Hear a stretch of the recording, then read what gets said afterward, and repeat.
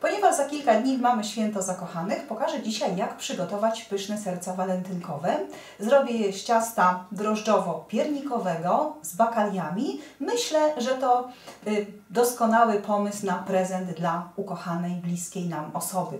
Do przygotowania będziemy potrzebowali 300 g mąki, 3 łyżki miodu, 2 łyżki oleju, 3 łyżeczki przyprawy piernikowej, Zaczyn zrobię z trzech deko drożdży świeżych, czubatej łyżeczki cukru i 100 ml mleka. A bakalie to będą orzechy włoskie, rodzynki. Ja już je namoczyłam w wodzie, są już odsączone i kilka kostek gorzkiej czekolady. Najpierw przygotuję zaczyn, ponieważ on przez kilkanaście minut powinien wyrastać. Do miseczki rozkruszam drożdże i wsypuję czubatą łyżeczkę cukru. To wszystko dokładnie rozcieram. Drożdże z cukrem mam już roztarte i dolewam mleko lekko podgrzane. I wszystko dokładnie wymieszam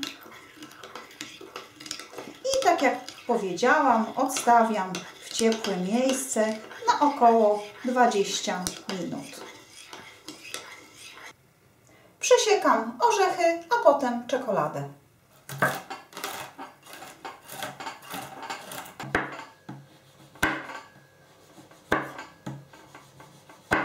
Zabieram się za przygotowanie ciasta. Przesypuję mąkę przez sito.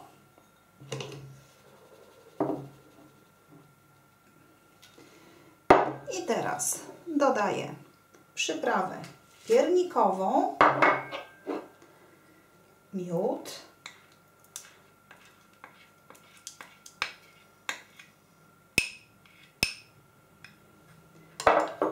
i olej. Dodaję zaczyn.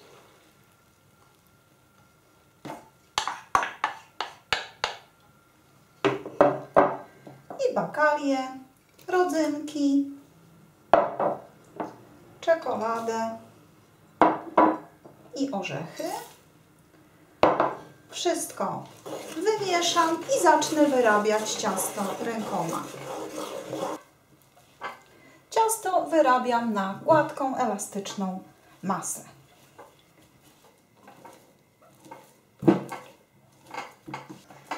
Ciasto mam już dobrze wyrobione, jest gładkie, elastyczne, a zatem formuję kulę, wkładam do miski, wysypałam wcześniej mąką, przykrywam ściereczką i odstawiam w ciepłe miejsce na 40-50 minut do wstępnego wyrośnięcia.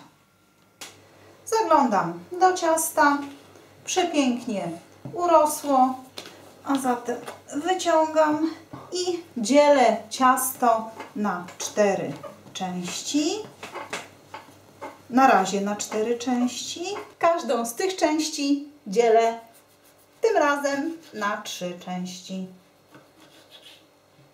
Z każdej części ciasta formuję wałek. Wałki powinny być no, mniej więcej jednakowej długości.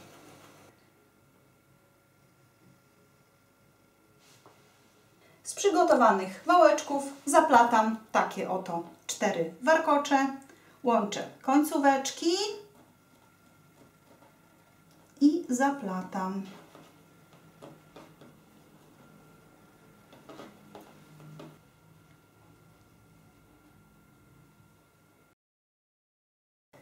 Z przygotowanych warkoczy formuję serce i odstawię na kolejne 40 minut, oczywiście w ciepłe miejsce do ponownego wyrośnięcia.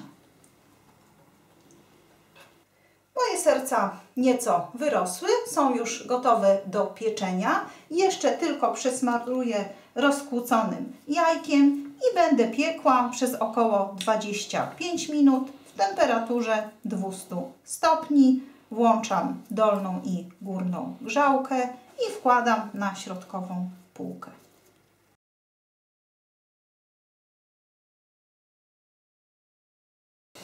Moje pyszne walentynkowe serca są już upieczone. Zobaczcie, jak pięknie wyglądają. Przepięknie pachną również przyprawami korzennymi. Są bardzo smaczne, nasycone bakaliami i czekoladą. A zatem warto zadać sobie odrobinę trudu, aby podarować nie tylko w dniu świętego Walentego takie oto serce swojej ukochanej osobie. Gorąco polecam i życzę smacznego.